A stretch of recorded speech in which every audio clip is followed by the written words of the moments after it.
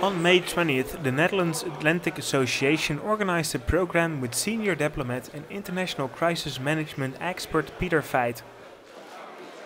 In the Koninklijke Schouwburg in The Hague, he gave an introduction and took questions from a varied audience and from moderator Robert van de Roer. asked me to say a few words about my own experiences in um, dealing with insurgents and, uh, of course, also Kosovo. Um, and in the Ukraine, you see that uh, the Russians are very keen to see uh, decentralization to be implemented by the government. But you don't know what decentralization means in Putin terms. Does it mean real decentralization to the province or the uh, municipal levels, or is it going to be a first step towards uh, separation and, um, and uh, rejoining uh, uh, Russia? Because why did we intervene in 1999 in, with, with NATO and the airstrikes? That was because uh, of the serious, persistent violations of human rights by the troops of Milosevic in Kosovo. There was no intention at that point to separate Kosovo from, uh, from Serbia. In fact, I remember that uh, during that period and in the immediate aftermath, in the planning documents and everything, uh, Kosovo was considered as a, uh, as a province of Serbia. The assumption was that it would remain so. Um, so it was controversial five member states didn't recognize Kosovo's independence, still haven't done so, notwithstanding the fact that in 2010 the International Court of Justice gave a ruling that uh, the independence was not in violation of international law. I leave it at that, Robert. Thank you very much for giving me the occasion to say you may applaud. Okay. What is your biggest achievement? Your personal biggest achievement? You don't have to be modest. It sounds a bit sentimental, but it is your last days in Aceh or uh, in, in, Macedonia where you see happy faces.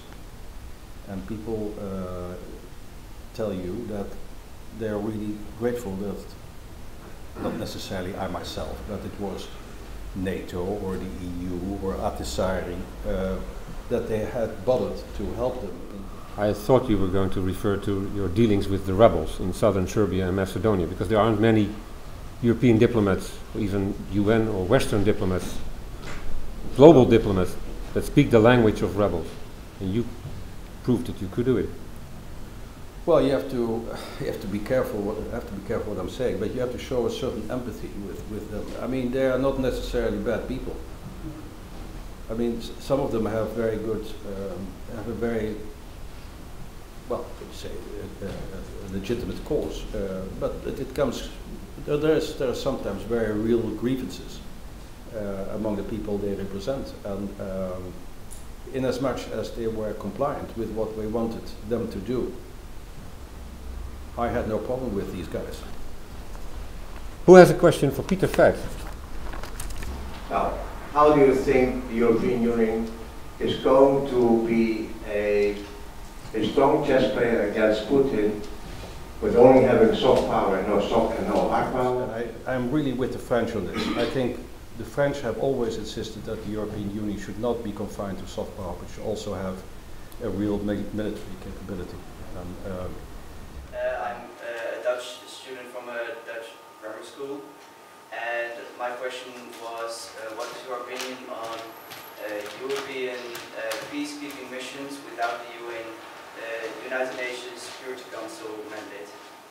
So my answer to you is, I know that the European Union is more, perhaps more than, than NATO, keen to have a proper legal base, and by that, I, the preference would always be for a, a Security Council mandate.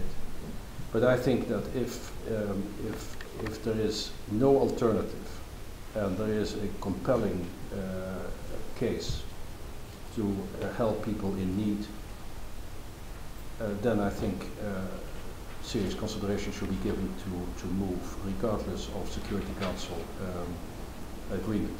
Currently the status quo in the Council, European Council is Uh, Germany soul searching, France willing to uh, to intervene or at least to defend its interests abroad. Uh, what, what is your personal opinion? Um, what could be the solution to breach this status quo and make uh, the European Union a- able to use its full potential? Um, you see, there's a little bit of a nuance in those two uh, courses of action. But I think with Frau Merkel at this moment, we are um, in safe hands, and I think she is doing a very uh, heartening and encouraging job with, with the Russians. Pieter, uh, thank you for sharing uh, with us your lessons in uh, multilateralism. Uh, show energy, show patience. In fact, there were more lessons, but there are too many to summarize. I'm pretty sure that we will be hearing from you in the future and that you will share your knowledge and experience with us again.